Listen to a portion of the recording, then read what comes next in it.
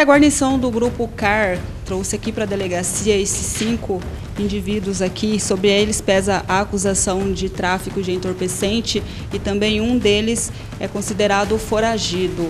São três menores e dois maiores de idade. Eu converso agora com o soldado Balduino. Quais são as informações sobre essa situação envolvendo esses jovens? É, a gente se encontrava em rondas ali pelo Jardim São Paulo e dado momento ali a gente avistou um indivíduo em atitude suspeita, e mesmo na presencial viatura ele correu para uma residência, é, aí a gente continuou em acompanhamento atrás dele, momento a gente conseguiu é, ter êxito em abordar ele, né? E dentro da residência foi encontrado os demais aí, em posse deles foi encontrada essa quantidade de drogas. E quais foram as alegações deles? Já são conhecidos da polícia? Sim, segundo as próprias gurias ali, eles estão traficando ali naquela residência, né?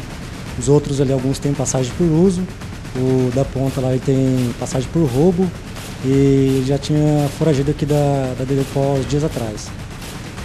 Aí essas são as informações, vamos conversar aqui com eles. Você é traficante, estava lá no, no, pessoal? Claro, eu sou usuário, já vim várias vezes preso por estar usando droga.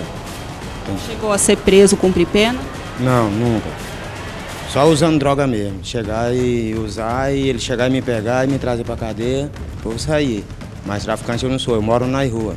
Eu não tenho nem dinheiro nem para traficar, senhor. Mora lá no Jardim São Paulo? Não, eu moro aqui na praça, aqui, na, na rua. Isso. Já conhecia esse pessoal aí? Não, não conhecia, senhor. Você, jovem, qual que é o seu envolvimento? Só uso. Mas trabalho. Já teve preso outras vezes? Não, senhora. Não. Você, jovem aqui da ponta, você é o que foragiu aqui da delegacia? Isso, senhora. Chegou a foragir, como que foi a sua situação?